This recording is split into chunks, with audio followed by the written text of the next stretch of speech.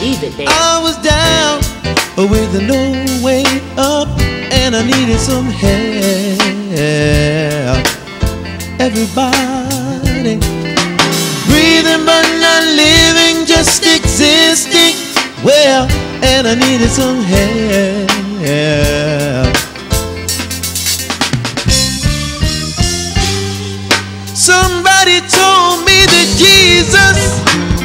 Will set you free. I tried it for myself and now I know what he did for me. Hallelujah, hallelujah, hallelujah. Give God some praise. Thank you, God. Lord, we are so thankful to be in the house of God today. And we, no matter where you are, we come to lift up the name of Jesus. So we want you to clap your hands, we want you to lift your hands, and we want you to lift your voice so you can sing praises to the name of Jesus. Hallelujah. First, we're going to have our scripture reading, and then we're going to have our prayer, and we're going to get into our praise and worship. Is that all right? Hallelujah. Thank you. God. I will be reading Psalms 150. Praise ye the Lord. Praise Praise Him. God in his sanctuary. Praise Him. Praise him in the firmament of his power. Praise Praise Him. him for his mighty acts. Praise Him. him according to his excellent greatness. Praise Him. Praise him with the sound of the trumpet. Praise Praise Him. him with the psaltery and harp. Praise Praise Him. him with the timbrel and dance. Praise Praise him with the stringed instruments and organs. Yes.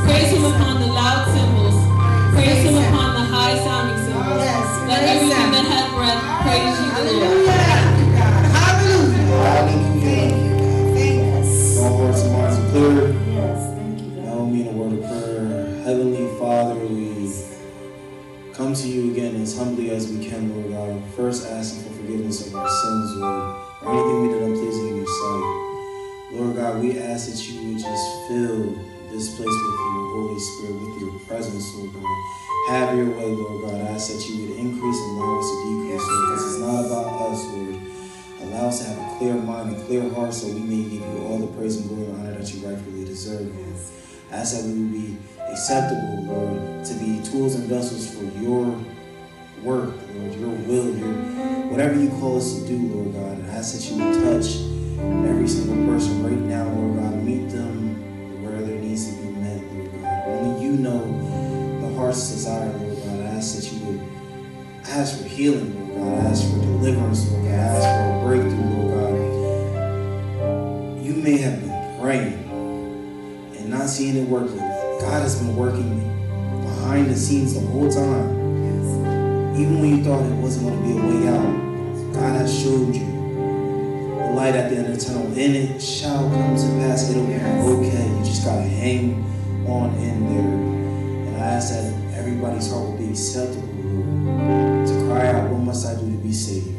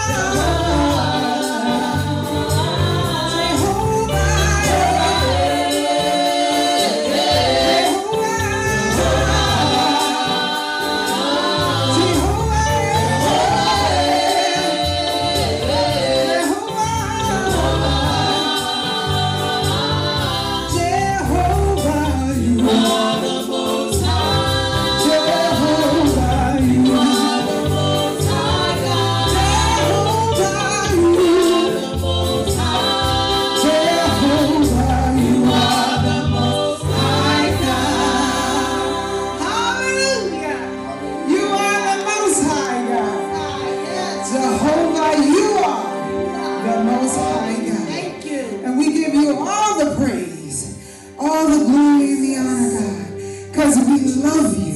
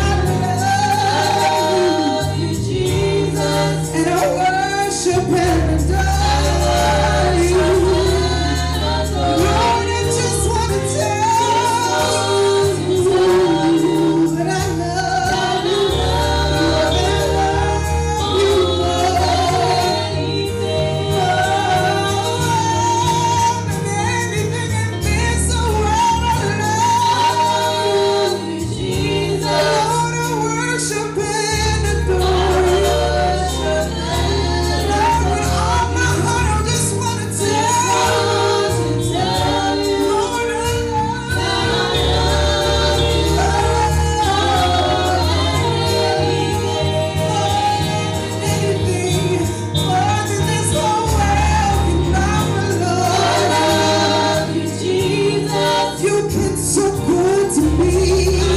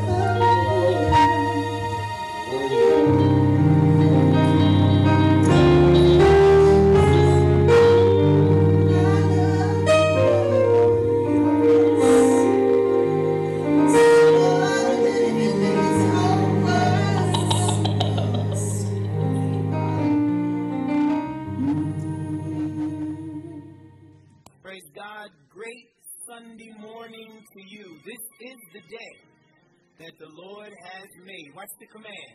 I will rejoice and be glad in it. I don't know about you, but this morning, the goodness of the Lord is very apparent in all that is going on. Um, if you woke up this morning, that means you got something to praise Him for. If you were in your right mind, that means you got something to praise Him for. So let's go into a word of prayer. We got a word for you today, and I want to go right into the Word of God. Come on, let's pray with me. Father God, again, by your own sovereign will, you brought your people together to hear your voice. And as they hear from you today, God, may their lives be changed, directed, and set on a higher course so that they can find their purpose in you. Lord, I bind up any spirits that will come against your word. Lord, somebody who may be sick, I ask you to touch their body. Someone struggling, I ask you to touch them so that nothing can impede your spirit from coming into their mind. Bless them now, as I know you can and will. Lord, I decrease that you might come and preach. Let nothing I say mess up your anointing. In Jesus' name, amen. We're going into a very familiar passage of Scripture today. I want you to go with me to Romans chapter 12. Romans chapter 12. The book of Romans. I'll give you a few minutes to get there. In the New Testament, Romans chapter 12. We're going to read three verses into your hearing this morning from Romans chapter 12, the Magna Carta of Theology. Let's read it. Therefore, I urge you, brothers, in view of God's mercy, to offer your bodies as a living sacrifice, holy and pleasing to God. This is your spiritual act of worship. Do not be conformed any longer to the pattern of this world, but be ye transformed by the renewing of your mind. Then you will be able to test and approve what God's will is the good, pleasing, and perfect will.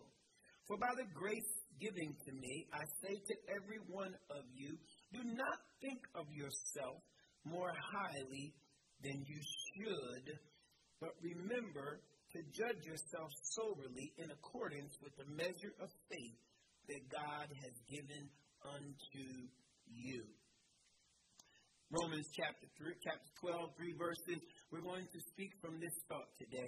Strong spiritual health leads to divine mental health. Strong spiritual health leads to divine mental health. Anyone who grew up in church like I did have had their share or understand about Christian taboos or superstitions or some of the uh, infamous do's and don'ts of church.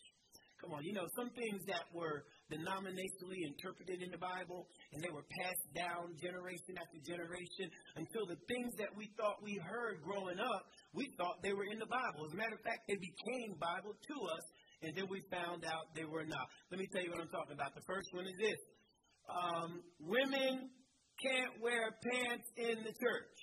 I know I'm not the only one who heard that. It's a sin for a woman to wear pants in the church. Matter of fact, some denominations, some churches say makeup is even a sin. And you've heard that one also when I was growing up as a child. You could not walk across the pulpit area in the church. Uh, there was something about the pulpit. I'm talking about behind where the pastor's preaching, like I'm standing. You better not walk across that sacred uh, area in danger of your life. And then one day, I remember, do not set anything on the communion table. The communion table is sacred, which puzzled me because I wondered how the deacons could pick it up every Sunday when we had we had communion on the first Sunday and put it somewhere. But other than that, it was sacred. I guess they had touch. And then this one is kind of laughable, but I thought it was in the Bible. Um, when it's lightning and thundering outside, you got to be quiet because God is doing His work. I remember in my house, my dad would turn off the lights. You had to sit still. And of course, as soon as that happened, me and my brothers and sisters would get a case of the giggles. And so we ultimately get smacked. But here's the thing there was one of three things would happen to you if you violated any of these sacred taboos, any of these sacred scriptures. Here's the first thing. The first thing that would happen to you, of course, is the first one, the pet peeve, and that is you are in danger of going to hell if you violated those. The second thing that would happen is something bad's going to happen to you. This was very nondescript. They couldn't tell you what was going to happen to you, but something bad was going to happen to you. And the third thing that would happen to you is, watch this, God could strike you down. Don't touch that table. God going to strike you down. And not only that, when we were growing up, there was also, you know, some biblical interpretation of Bible stories that we thought were Bible because uh, that's how we were taught. I was taught this in Sunday school. You don't believe me? Watch this. Some of these you know. The first one is I could have sworn I read that Eve gave Adam an apple. But the Bible doesn't say that when you go back and look. The Bible said Eve gave Adam fruit. We don't know what kind of fruit it was. But you know, you've seen it, the big picture of the, the, the devilish apple that Eve gave to Adam. Also, how about this one? Jonah was swallowed by a whale. We made that up. The Bible says nothing about a whale. The Bible said it was a great fish. And the last one is, we three kings of Orient are the three wise men. We don't know, first of all, whether it was three. I mean, we know when they got down, when the Bible talks about when they finally got there, the three gifts that they gave, you know, incense, myrrh. We know about that, frankincense. But here's the thing we need to understand is that by the time the wise men got there, they should not have been in the nativity scene. Jesus was two years old when they finally reached Jesus.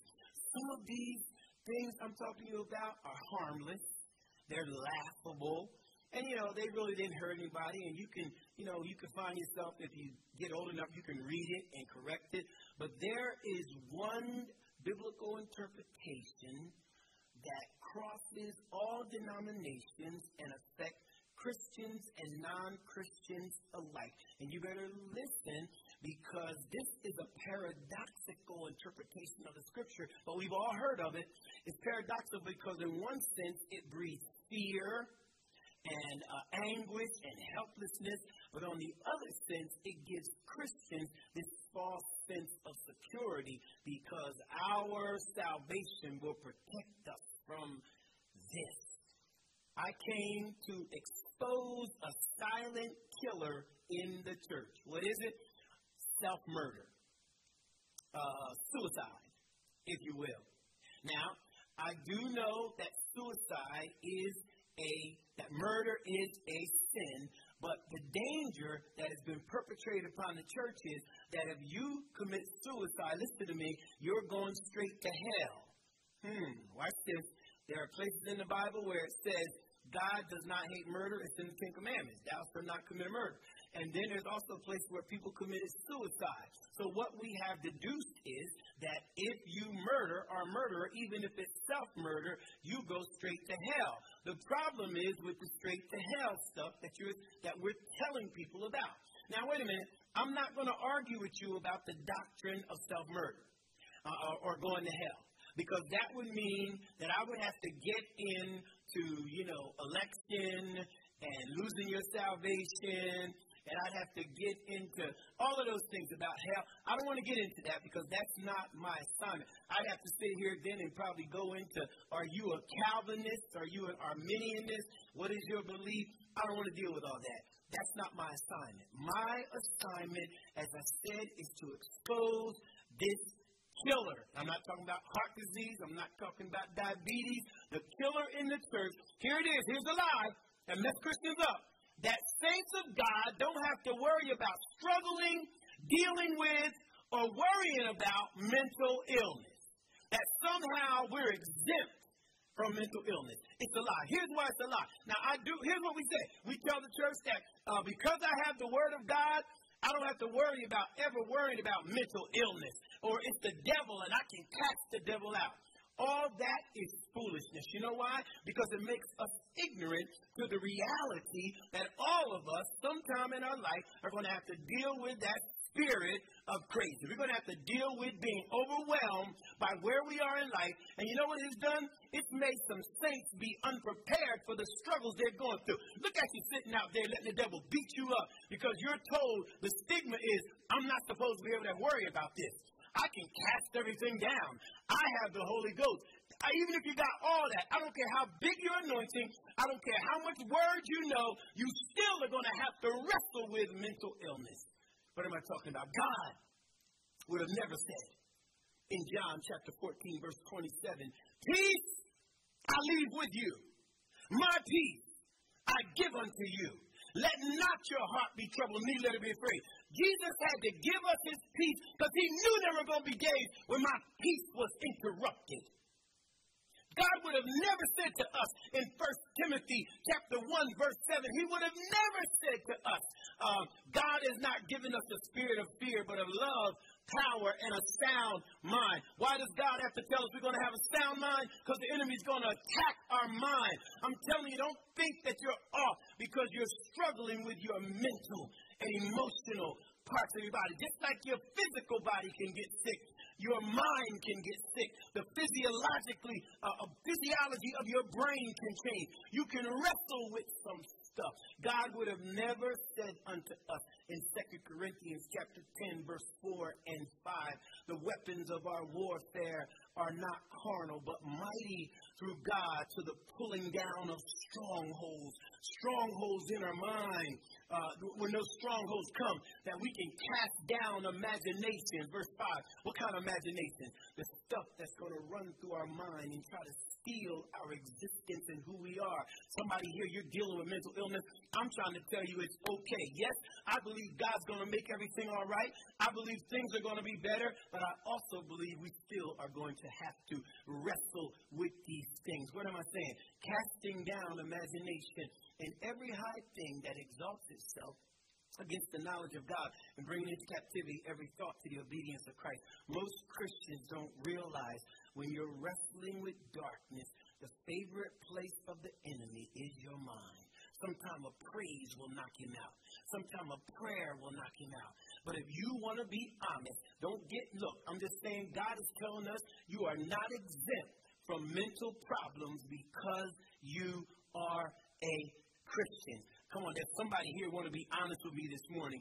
How many of us will be honest enough to say we had to wrestle before? There were times when the fear and the anxiety and the struggle was too much for us to handle. All we have to do, let, let somebody know, yes, confess up.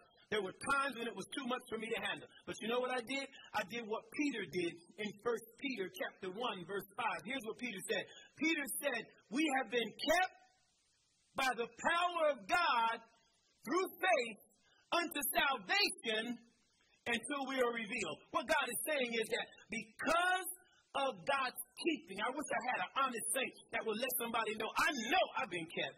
There were days when I was falling apart. There were times when I didn't know how I made it. There were nights when I know the enemy was all up in my mind, but I made it because God kept me. I was overwhelmed, but the Lord did not let me go under. You can identify with Peter. If you can't identify with Peter, go to the psalmist. Psalms 124, verse 1 tells us this, and we all say this scripture. Come on, you might as well say it. If it had not been for the Lord on my side, now let Israel say. All it's saying is that some days when I was anointed, when I just got done shouting, when I know I read my word, but I was under a mental and emotional attack.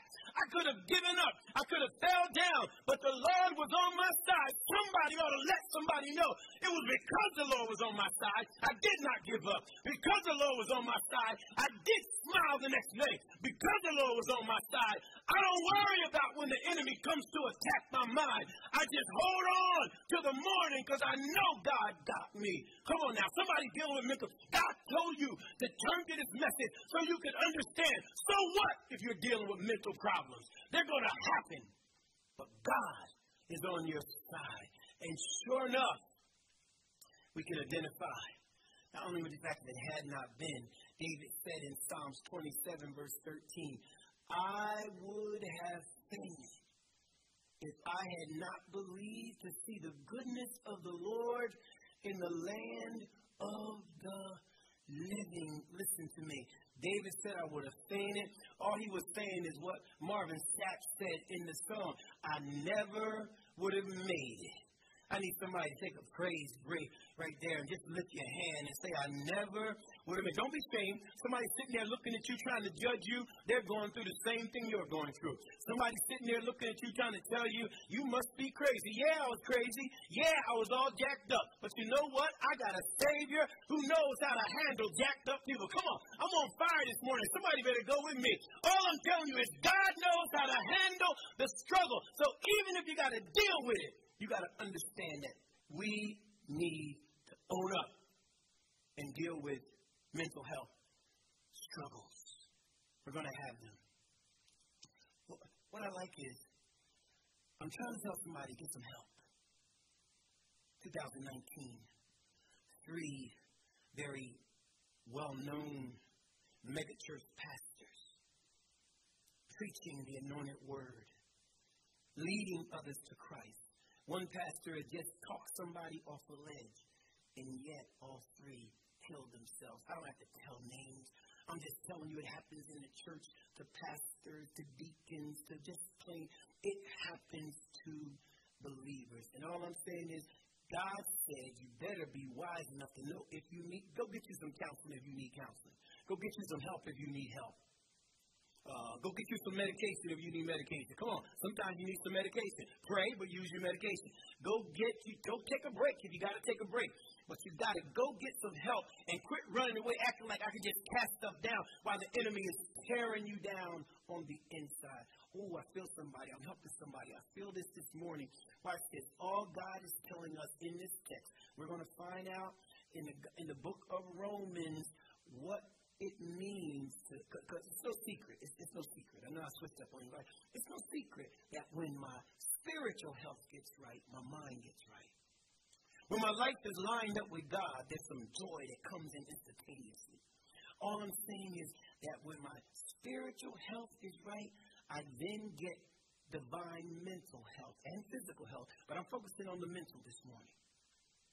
You get divine mental health when you're spiritual. What's divine mental health? It means that when I line myself up with God, when the crazies come, when the struggles come, when the mental pressures come, when my mind is trying to jump out of my body, God said, I will divinely keep you.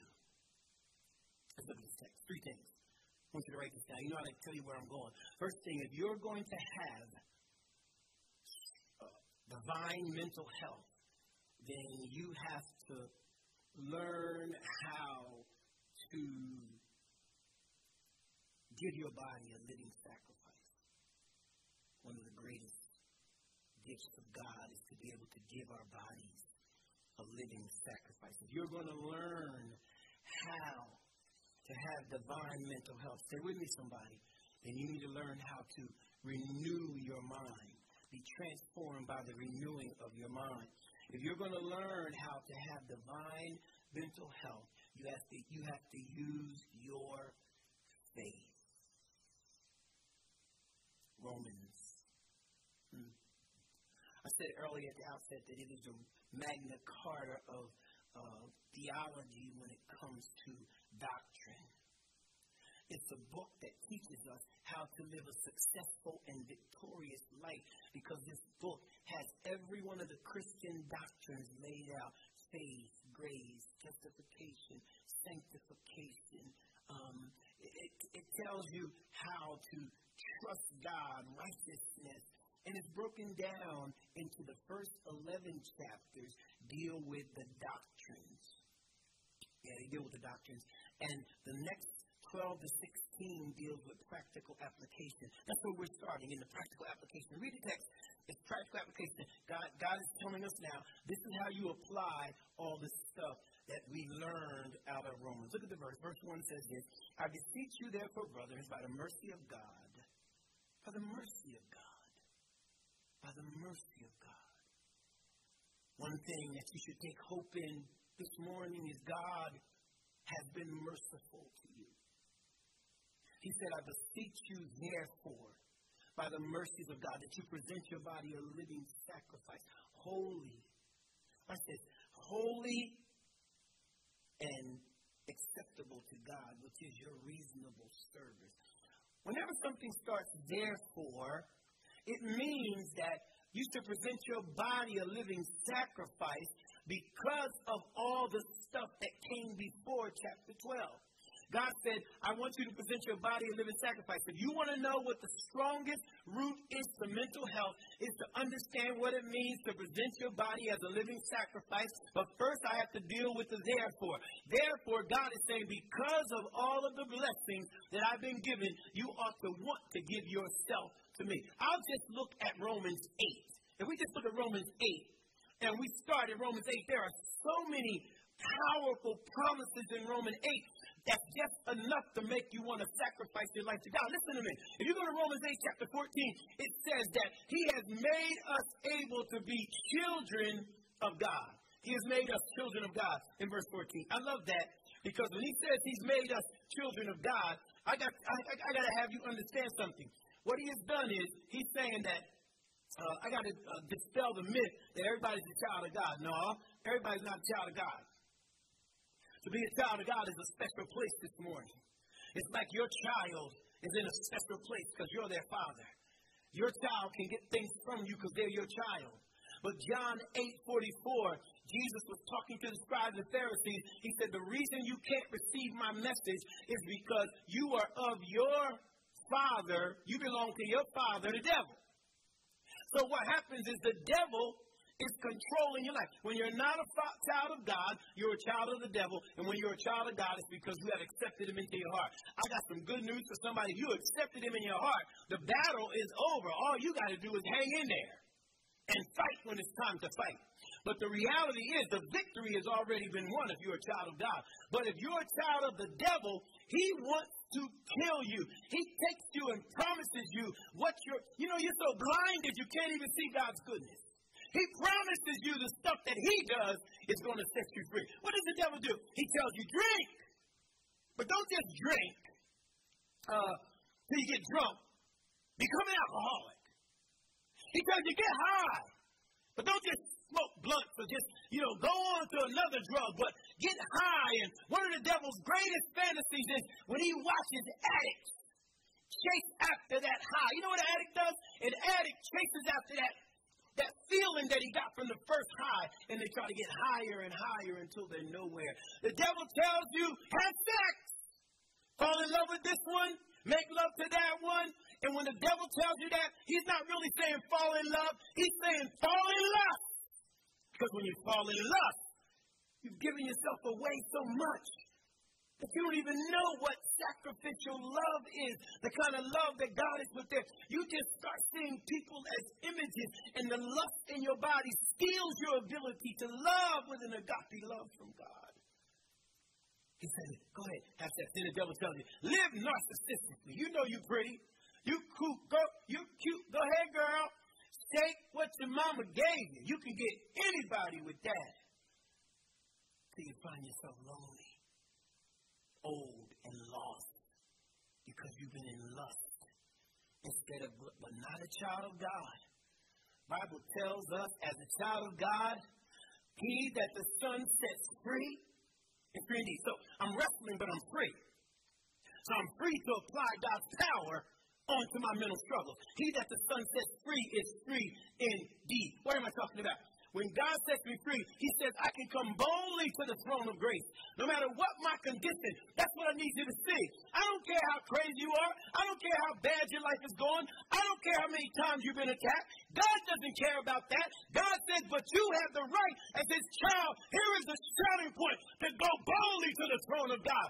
Mess up, go boldly to the throne of God. Here is our example of going boldly. You know what Peter did?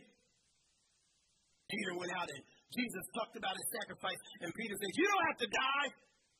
God had to say, Get you behind me, Satan. Peter followed Jesus to the Garden of Gethsemane, cut off the high priest servant's ear, pulled his knife out. Peter went to the cross and cussed and denied Christ.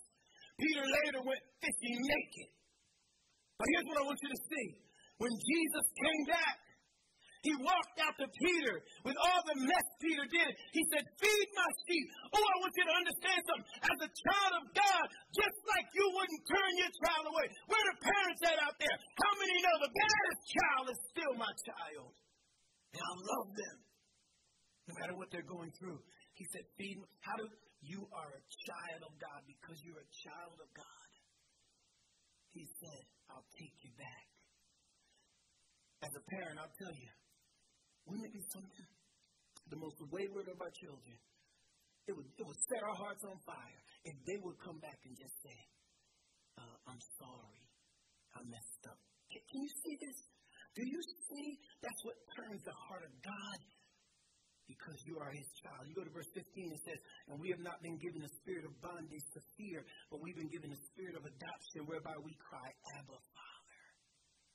He said, We cry out to our Father. That's why I'm telling you, no matter what you're dealing with, you may have to wrestle with anxiety. You may have to wrestle with schizophrenia. You may have to wrestle with bipolar. You may have to wrestle with panic attacks. You may have to wrestle with all kind of maladies, but it doesn't make a difference. We are fall, we're in a fallen world, in a fallen state, and all kind of things can attack us. But we have God as our Father. And God's going to make sure you come back. I, come on, somebody, you ought to get your praise right there. You will come back. God has, see what divine mental health is? It means at any moment a miracle can happen that the doctor can't explain because you're presenting your body as a living sacrifice. Verse 17 says, and we become heirs and joint heirs with Jesus Christ. Everything Jesus won on the cross belongs to you. Look at the verse. Verse 17, you are an heir and a joint heir, meaning Jesus won it, I get it. Contentment is mine. Peace belongs to me. Joy belongs to me. God's power belongs to me. Healing belongs to me. All of that is mine because I'm a joint heir with Jesus Christ. I'm still talking about what he did, why he used to present your body living sacrifice. Think about what I'm saying. He said, uh, verse 828, all things work together for good. That's why he to give your body a living sacrifice. 835, that uh, nothing can separate us from the love of God.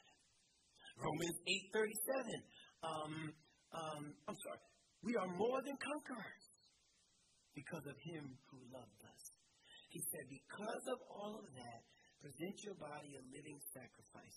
Can I help somebody quit giving God dead sacrifices? Dead sacrifices. Somebody got to make you praise God. Somebody got to make you love God. Somebody got to make you pray. But when you start presenting your body as a living sacrifice, it's because you want to. And when you get a case of the want to, watch what God does. See, we got this thing backwards. Many of us feel that um, presenting our that when we serve God or we sacrifice for God, it's what we can get from God. Nah, real sacrifice comes with what we give to God. When we give God our bodies as a living sacrifice, the blessing that comes is because He knows that I gave Him my body because I want to give Him my body. So when you want to give God your body, there is a difference in uh, sacrifice is a two-way street. Uh, even though uh, the difference is God always starts first. But if we ever got to the point that you start giving giving up something for God, giving back to God, right now, you want to get free? Give up something for God that you wouldn't give up. It's, it's said that the, uh, King Cyrus of Persia captured a prince and his family on one of his, you know, conquering trips. He captured this prince and his family. And the king got him in the front of him, and he got his kids and his wife up there. He said, What would you give me if I let you go free? And the prince said, I will give you half of my kingdom. He said, What would you give me if I let your children go free? He said, All I possess. He said, What would you give me if I let your wife go free? He said, I'll give you my life. Cyrus was so moved by these people, by this act of sacrifice, that he let everyone go. As he was leaving, the prince looked over at his wife and said, Wasn't that Cyrus a handsome man? And his wife looked in his eyes with love and said, I don't know. I, I, I couldn't see Cyrus. All I could see was the one who sacrificed everything for me. You know what makes you give God glory? Because God sacrifice. You know I give my body? Because God sacrificed everything for me. You can't seek until you have given to God and watch God beat you giving, until you have trust God and given up stuff for God, you'll never know the true bliss of having an anointing in your life. So when the mental aberrations come, you can still get through them. Give your body a living sacrifice, holy and acceptable to God. Second point was holy means set, separate, set apart. If you want to have divine mental health, you have to be transformed by the renewing of your mind. There it is, your mind. This is the most important part of this text because our mind must be renewed. Renewed must mean that our mind must constantly be thinking new thoughts, going in a different direction. Because I've given God my body. Now that I've given Him my body, I got to transform my mind. It's a constant renewal. It's when I trust God because of what He did. When you are, when your mind is renewed, it becomes transformed not conformed. You know the reason a lot of things don't have power is because you've been conformed. You're trying to serve God with a worldly mind. You want to stay in church, but you want to also hold on to the world's values. You want to you want to act like I'll sacrifice everything for God, but you want to still do what the world says. So when you try to have the world's value in God, you can't have them both. Conformity is something that it's the natural way my mind wants to go. It's the demonic way my mind wants to go.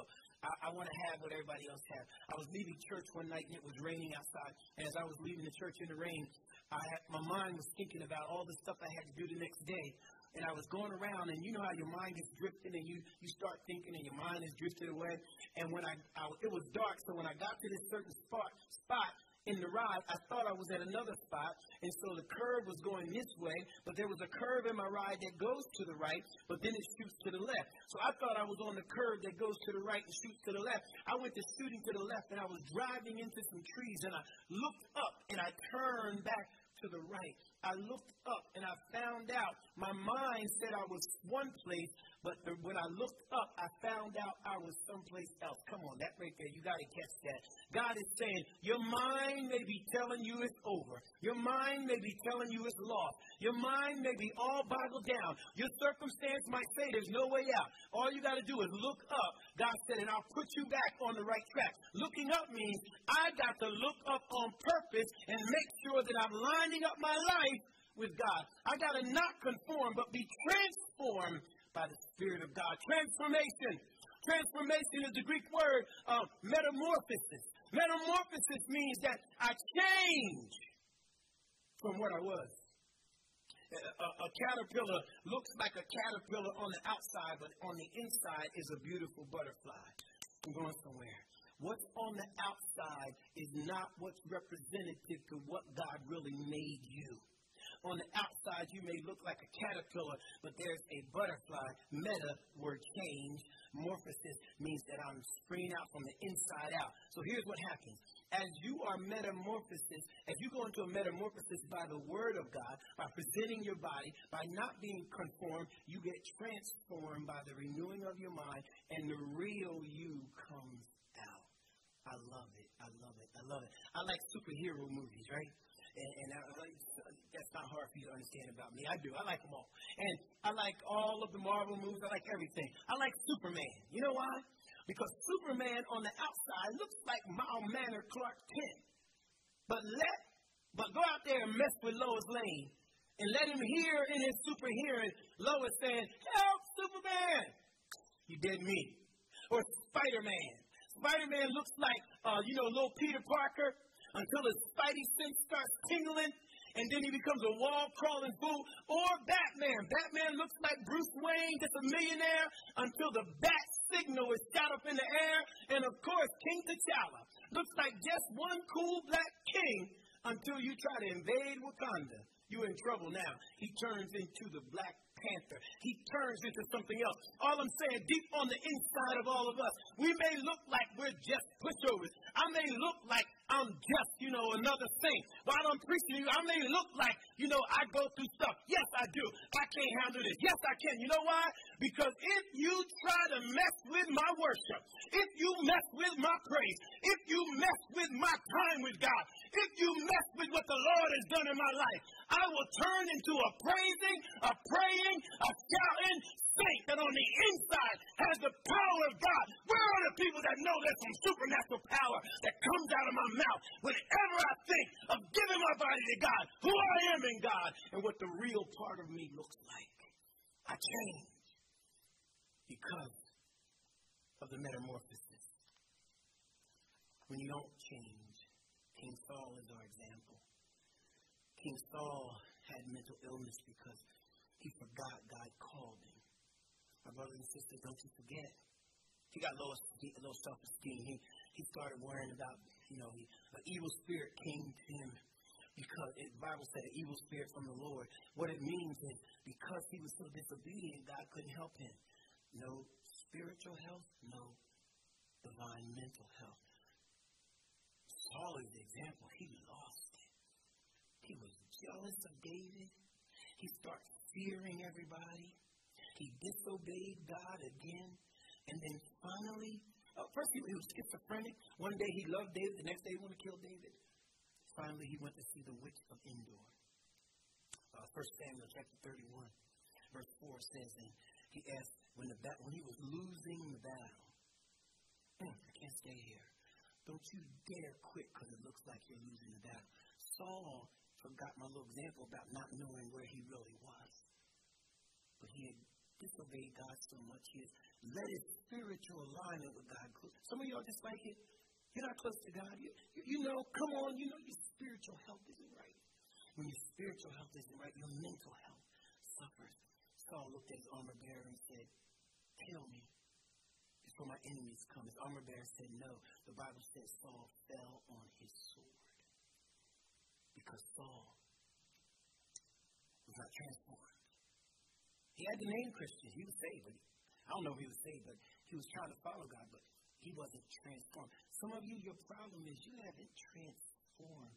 You haven't let the real you that God put the destiny and the purpose of God that's in you come out to fight your battle. You got to be transformed. Daniel, all he had to do, not to go into the lion's den, was to quit praying to God and close his window. But he wouldn't conform. And when he wouldn't conform, not only did the lions not eat him, but he was promoted.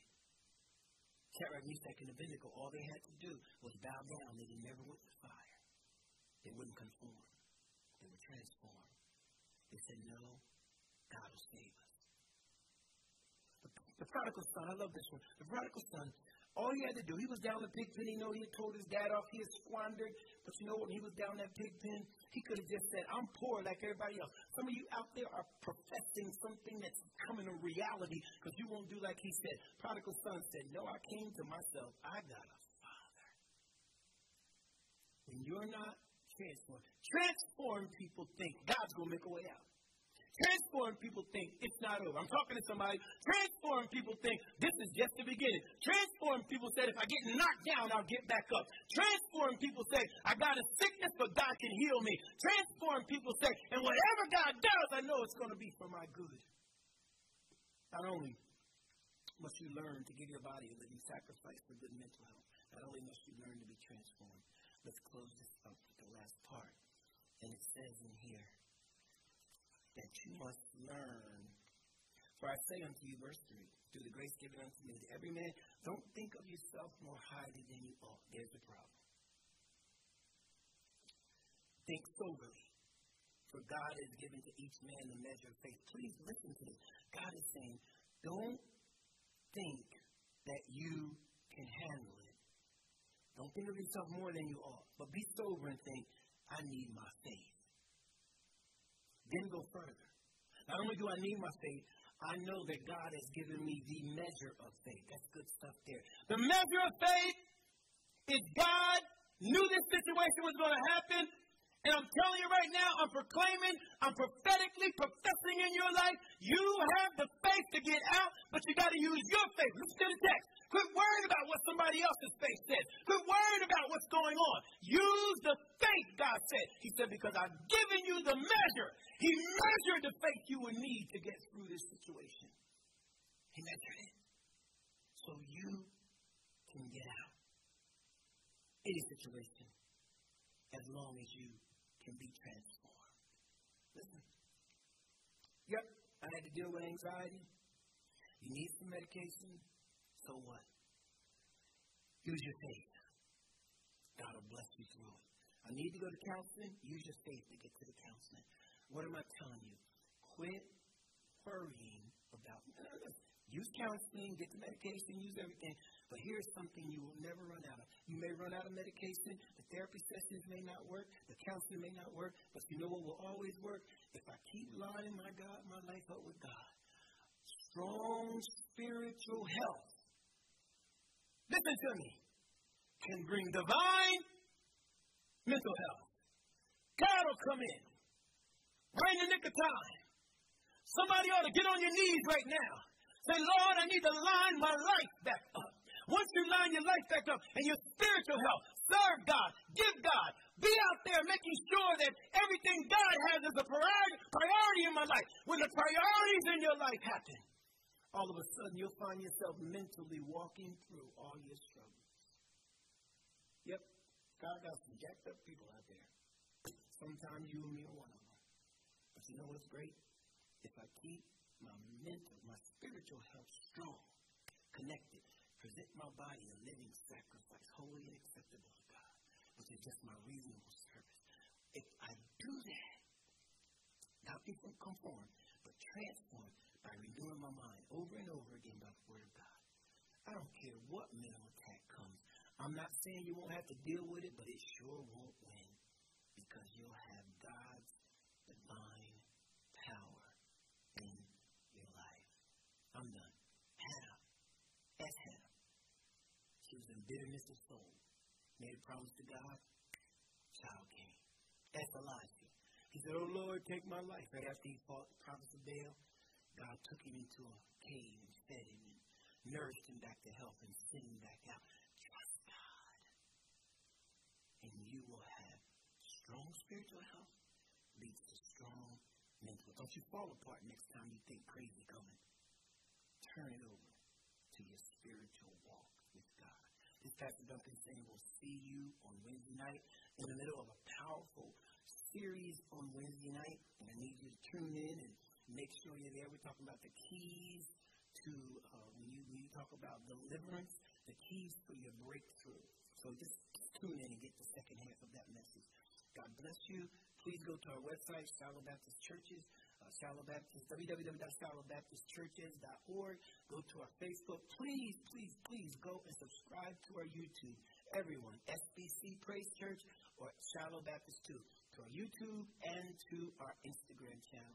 This Pastor Dunkins saying, God bless you, and may the power of God, next time you get into trouble, remember, as long as I'm strong spiritually, I can handle anything leave it there. I was down with no way up, and I needed some help. Everybody breathing but not living, just existing. Well, and I needed some help.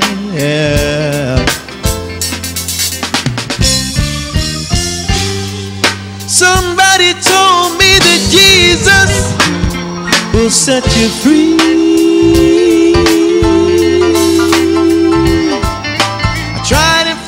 coração